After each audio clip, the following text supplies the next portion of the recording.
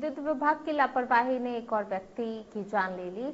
मामला यूपी के सहारनपुर का है, जहाँ व्यक्ति की मौत के बाद गुस्साए ग्रामीणों ने सड़क पर जाम लगा दिया। पुलिस से मिली जानकारी के अनुसार गाँव बाबूपुर निवासी 50 वर्षीय व्यक्ति खेत पर काम कर रहा था, जहाँ विद्युत लाइन की चपेट में आने से उसकी मौत हो गई। वहीं मामले को लेकर ग्रामीणों ने विद्युत विभाग पर आरोप लगाते हुए कहा कि विभाग को इसकी सूचना दी गई थी, लेकिन विभाग के अधिकारियों ने कोई ध्यान नहीं दिया। साथ ही विभाग का कोई भी अधिकारी कर्मचारी वहाँ नहीं पहुँचा, जिससे गुस्साए ग्रामीणों ने सड़क पर जाम लगा दिया। सूचना पर पुलिस मौके पर पहुँची और ग्रामीणों को समझाइश दी।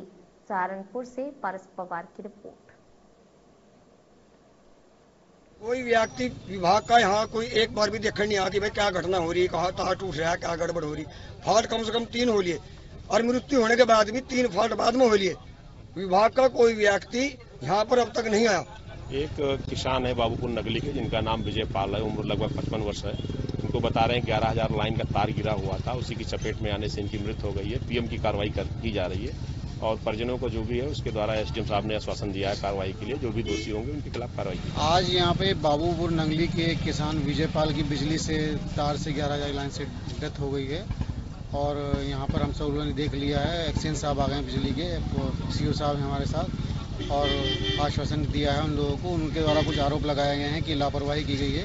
तो ये भी कहा गया है कि जो भी दोषी होंगे, उनके खिलाफ कार्रवाई